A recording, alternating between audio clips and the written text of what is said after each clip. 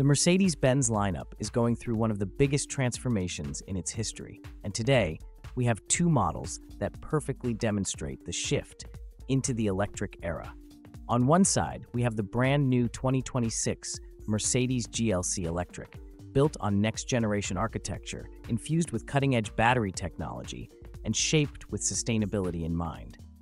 On the other side, we have the familiar 2025 Mercedes EQC, the first midsize electric SUV Mercedes ever put on the road, a model that represented a cautious but important first step into electrification.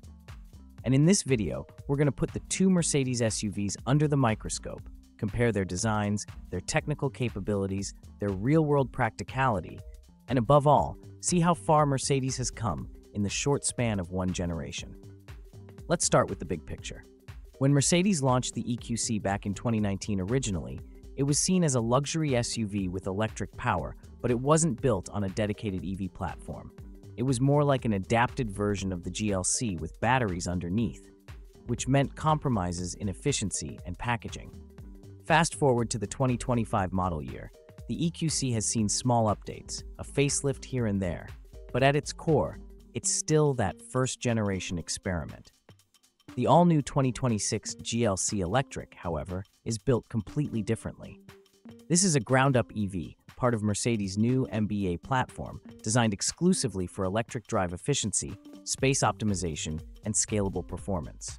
Right away, this sets the stage for a very different comparison. Design wise, the EQC carries traditional SUV proportions with a slightly coupe like silhouette. It has the signature EQ styling with a glossy black panel in place of a grille, flowing LED strips, and smooth surfaces that were futuristic six years ago, but are now starting to look dated. The 2025 EQC still looks elegant, but when parked next to the 2026 GLC Electric, the difference is obvious. The new GLC Electric has much sharper lines, a more aerodynamic profile, and a stance that communicates modern efficiency. The drag coefficient, for example, has been reduced to as little as 0.24, compared to 0.28 in the EQC. That means better efficiency at highway speeds and a quieter cabin too.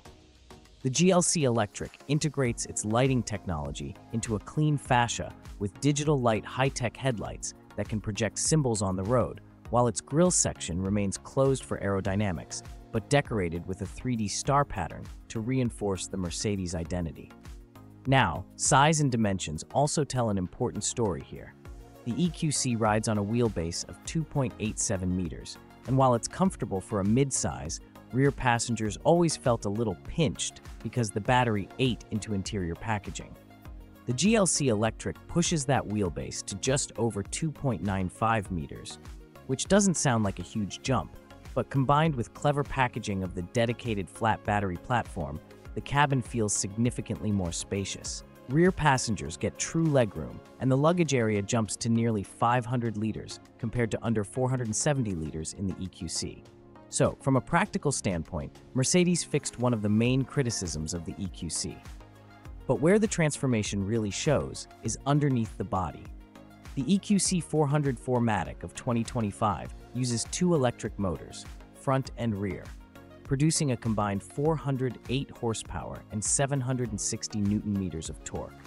That was impressive at launch and remains quick today, with 0 to 100 kilometers per hour in around 5.1 seconds. However, it only uses an 80 kilowatt hour battery, of which around 74 kilowatt hours are usable. Real world range? Around 300 to 400 kilometers, depending on conditions. Now compare that to the 2026 GLC Electric. It comes with Mercedes' new generation high energy density battery packs, available in 90 and 105 kilowatt hour versions. Usable capacity in the larger pack is around 100 kilowatt hours, and thanks to efficiency gains and aerodynamic improvements, range stretches to a WLTP rated 600 kilometers easily, and in real world mixed driving, 520 to 550 kilometers is achievable. That's nearly a 200 kilometer leap over the EQC.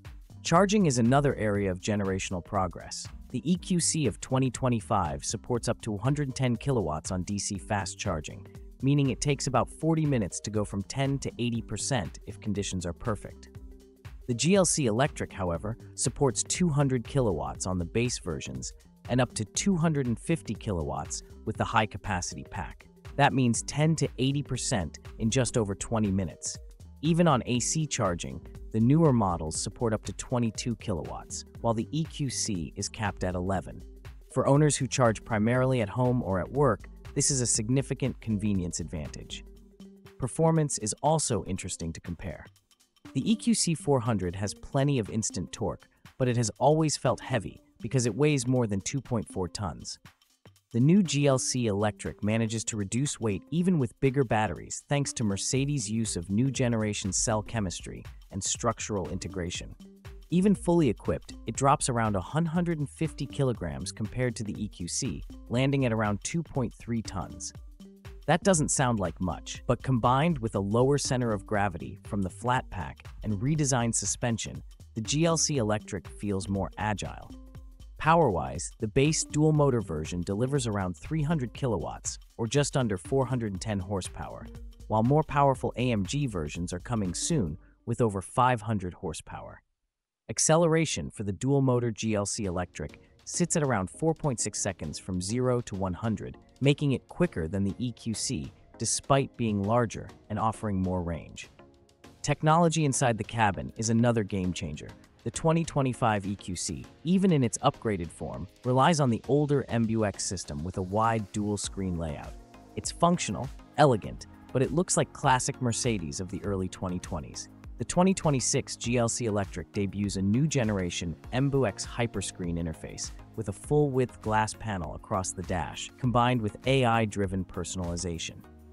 It learns your driving habits, predicts navigation needs, and even adjusts battery preconditioning based on your calendar. Over-the-air updates are finally seamless, allowing the car to gain new features long after purchase.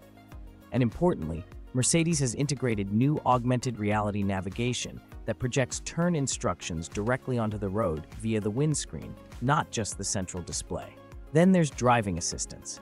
The EQC has level 2 assist functions, adaptive cruise, lane keeping, automatic emergency braking. Solid, but not groundbreaking. The GLC Electric brings Mercedes' next generation Drive Pilot, capable of level 3 conditionally autonomous driving in certain regions. That means on approved highways, the car can handle full driving duties, letting the driver take eyes off the road legally.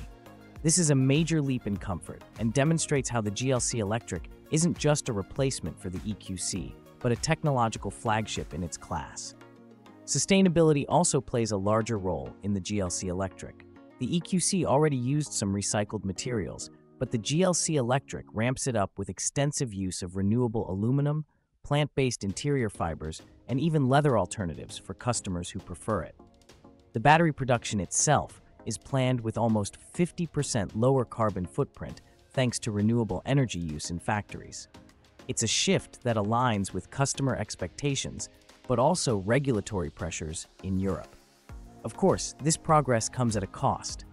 The 2025 EQC starts at around 70,000 euros in its standard trim, while the 2026 GLC Electric is expected to begin closer to 75,000 euros, with higher trims pushing well past 90,000 depending on battery size and luxury features.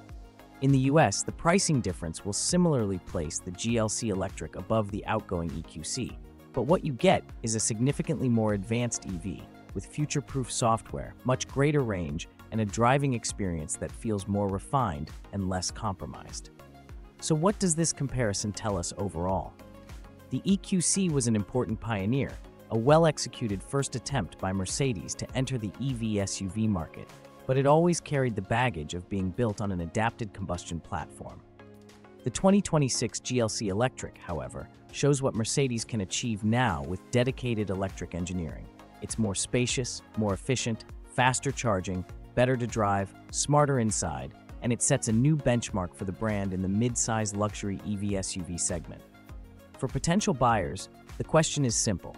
Should you go for the EQC, perhaps at a discounted price as dealerships clear stock, or leap into the new GLC Electric.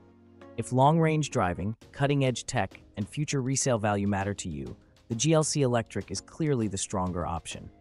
The EQC still offers comfort, quietness, and solid power, but next to the new GLC Electric, it feels a half step behind. And we suspect For many Mercedes customers looking at the 2026 model year, the EQC will simply be remembered as the car that paved the way. So there you have it, a detailed head-to-head between the outgoing Mercedes EQC and the all-new Mercedes GLC Electric. Two SUVs from the same family, but separated by a generational leap in design, technology, and capability. Which one would you pick if you were in the market today? Let us know in the comments, and if you enjoyed this deep dive comparison, make sure to subscribe to Autopedia, hit the notification bell, and stay tuned for more in-depth reviews of the latest EVs hitting the road in 2026 and beyond.